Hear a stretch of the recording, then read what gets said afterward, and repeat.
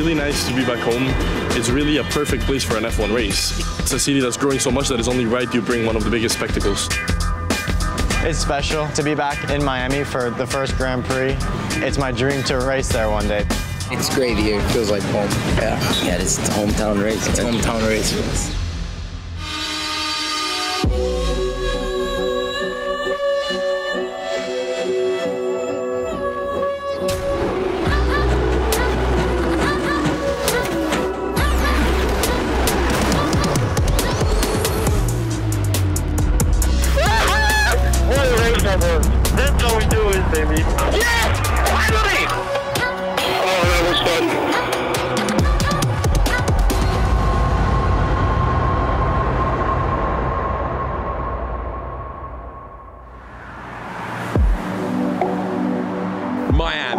Magic City, hosts Formula One for the first time. It's home to some of the brightest junior drivers, including Logan Sargeant, Juan Manuel Correa, and Enzo Fittipaldi, who has just scored his best F2 result in Imola. Time to see family. 77 to 99. You think they can catch up? Oh, the, Let the me game check. is. They lost this game. Yeah. But Yeah. It's, it was a first away game. They're getting used to the stadium now. They're up two, two, one. Okay. When me and my brother we used to to live in Miami, we were I massive was at the Heat track all day fans, today, yeah, so- and yeah. it's amazing that he likes the Heat as well. Like he's a massive fan, and he plays really good basketball. Left at like eight o'clock. To make it to, to Formula One, you have to go through the ladder. And I did Formula 4 in 2018. Uh, won the championship in Formula 4. Then did Formula 3. Uh, and then now Formula 2, which it's like one step from Formula 1. So obviously Formula 1 is the pinnacle. It's like the top. So that's the goal is to make it Yeah. there one day. So yeah. Then you're gonna come watch. I will. But that means you have to come watch when I get drafted. Yeah, when you get drafted in the NBA. You I'm gonna come. I'm gonna be. I'm gonna be there. I've been coming here since I was born. yeah, seriously. It's amazing. Just like you know, I know them. They actually, you guys can come here and it's stroller. I remember when your mom used to bring you guys here. Yeah, all the time, and then all the time because It's crazy. Time flies. yeah.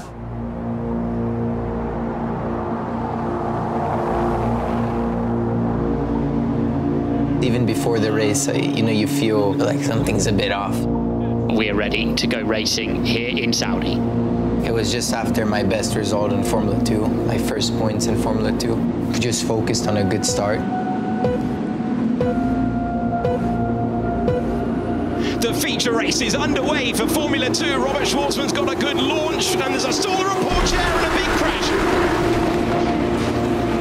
I remember it like it was yesterday. It was very scary. You never know who was involved in the incident. And then I heard uh, Enzo's engineer, like, are you okay, are you okay? And I was like, crap, Enzo's involved. Enzo, are you okay? Enzo, Enzo. Until today, I just remember being in the pre-grid and then waking up in the ambulance. It was for the whole team was really bad. You already see that in the past, so you know what you can expect. So it was really stressful for the whole team. The biggest concern of the doctors was internal bleeding because I was vomiting a lot of blood. My right heel was smashed into many different little pieces. I had like really bad headache. I had some bleeding in, in my brain that when we did the scan, my brain had shifted already like eight millimeters from the center. So it was being squashed to one side. And you think the worst has already happened after the crash and everything. And and no, it wasn't the case. You never know what happens with brain hemorrhages and stuff, so that was very scary. And I remember when I had my crash, my uncle, my dad was there, and I remember how they took care of me and the things that I remember that helped me, and I tried doing the same for my brother. The skull, when you take a piece of bone like out like this, uh, it doesn't grow back. So they uh, basically have a metal plate here. So it was uh, was very difficult. And but just having my uh, brother there by my side uh, was was amazing. I'm thankful to be here today. We were signed with Charouz in the beginning of February. Honestly, we still weren't sure if I was gonna be ready, but we signed anyways. We were confident. That was less than two months after I did surgery on my foot. This weekend's gonna be extremely tricky. A lot of rain tomorrow. As you can see, the track's already wet. Yeah, I think tomorrow's gonna be quite uh, tricky. We'll see. All right. Everybody just working on to get him fit because we don't want to risk that injury can affect the whole season. That break from Jeddah to Imola, I was able to recover, train more, and I came back a lot stronger. We've got Fittipaldi trying to go through an Imola, and he gets past Ralph Boschung. Enzo Fittipaldi, who claims he's maiden podium in the championship. Oh my God! I can't believe it, man! Thank you, guys. Thank you. Honestly, I know we have difficult times, but we keep working like this. We only go forward from here. Let's go! When I was standing on the podium, I was just thinking like two, three months ago, I would have never thought this was happening. You know what I mean? It's like a dream come true because I thought I was gonna be out for this season. And to come back and always in the top six, top seven, fighting for podiums is honestly amazing. The podium was good, but we take it as a number and keep on working on the following race. For Enzo, we are very happy as a team, how he's doing, his approach. I'm pretty sure we will deliver another podiums and good results. So this is just the beginning. Let's go. You finished second in F2 back no, Yeah, yeah, he's my brother. All right, thank you. The real champ. Yeah. Thank you so you. much. Sorry to bother. Thanks. Well done. Thank you. You love to do that, don't you? I'm still buzzing from that race weekend. I started 15th. Had a really good start, and then the whole race we were just moving forward, moving forward, making overtakes. But there was a safety car with like four laps to go, and we had Pourchaire like two, three seconds ahead. And I think if it wasn't for the safety car, I think we could have had a good shot at the win. We were really fast. It was uh, very emotional, even for my father. He was there as well, because I think not only for us, I mean, we're racing, but for my parents, they sacrificed so much for us to race. Seeing some of that result, you know, come to be, so it's very important, and I'm sure there's going to be more good results.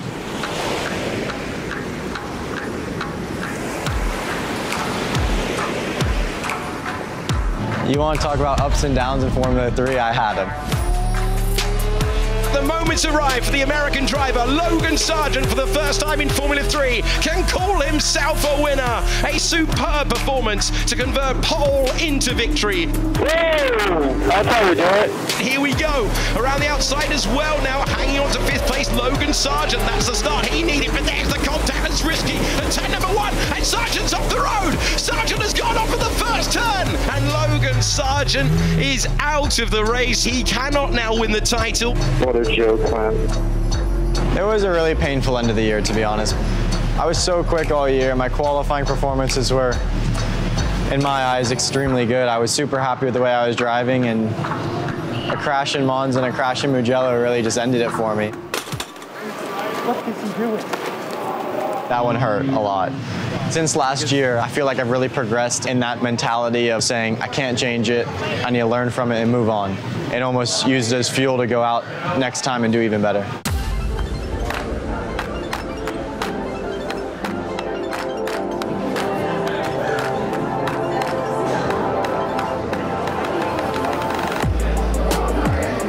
What was the worst thing about Miami?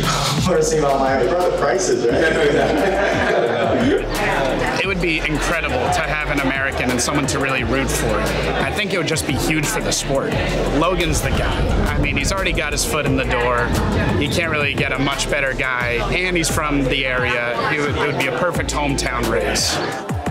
For this year, we had planned for him to grow steady into the season and then be a podium and winner contester at the end of the season. But it is clearly that Logan has, let's say, brought that goal a little bit forward.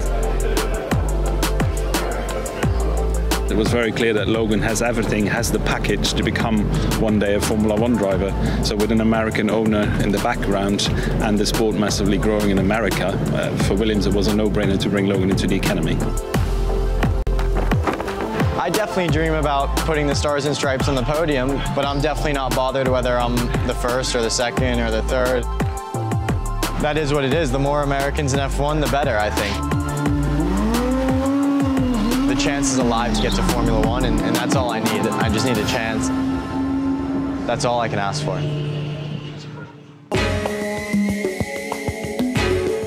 We are in Ocean Drive, iconic place in Miami. It's really nice to be back home. It's really a perfect place for an F1 race because, first of all, it's very international. There's a strong Latin community here. Latins love Formula One. And in general, it's a city that's growing so much that it's only right you bring one of the biggest spectacles. So I think the, the race is gonna be surprisingly good. In my motorsport journey, it started down in Homestead at the karting track a lot of good drivers actually came from from down here. So Logan, Devlin DeFrancesco, Kyle Kirkwood, Oliver Askew, just to name a few. Actually, they all come from South Florida and they were racing with me already at this local level. So as you could imagine, for being local races, it was quite high level. So this is Wynwood. It's kind of like this very artsy, up and coming place, lots of fun things to do, lots of restaurants. We have the Salty, it's my favorite coffee shop and the best donut in, in Miami and probably the world is sold here. I, I, try not to come too often, you know, if you know what I mean. I, I need to be careful. I didn't have breakfast today just because I knew we were coming here. Oh my god. Mmm.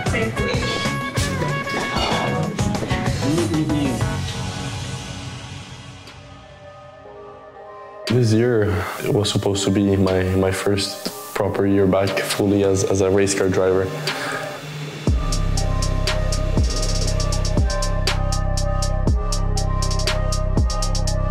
Obviously having an injury early in the season like I have has been very, very frustrating. So now we're just trying to make the best out of it. At the same time, yes, I, I did enjoy very much being back especially this year when you're competitive you enjoy it a lot more. So for example bahrain I, I, scored more points during the whole weekend in bahrain than i did all of last year. And i definitely enjoyed that weekend more. Since the end of last year there's been a, a very clear build up you know getting better and better. We ended sochi uh, last year doing fifth in the qualifying. So i was like okay there's definitely some performance uh, coming.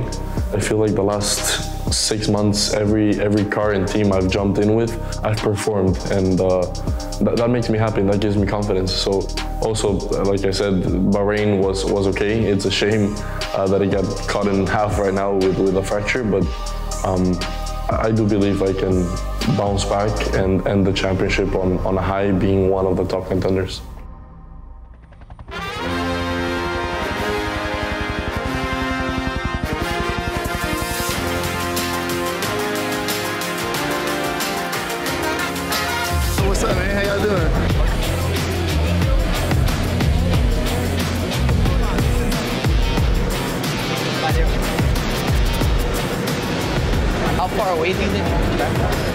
Birthday, boy. Yeah, you good? How's everything? I'm, I got a stress fracture during the race in Bahrain. Yeah. So everything got a bit delayed. I had to miss the Imola round.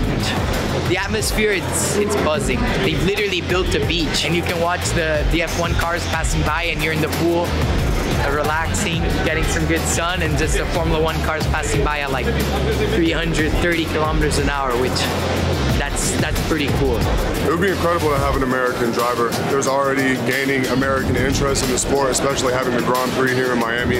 So having an American on the grid would be incredible pretty similar to like before a game or something like that. You know what I mean? Just the excitement building as we get closer and closer to the event. Just seeing all this coming to America and just being able to even be here is really exciting. I started racing 20 minutes from here. It feels like I'm back to the roots. It feels like I'm back home. But I'm trying my best to stay in the moment. You know, I need to stay focused on on the job at hand. You know, we still have a, a long way to go in our Formula 2 season. You know, I need to just start getting more comfortable there and, and producing some very good results, and then um, and then we'll see what the future holds.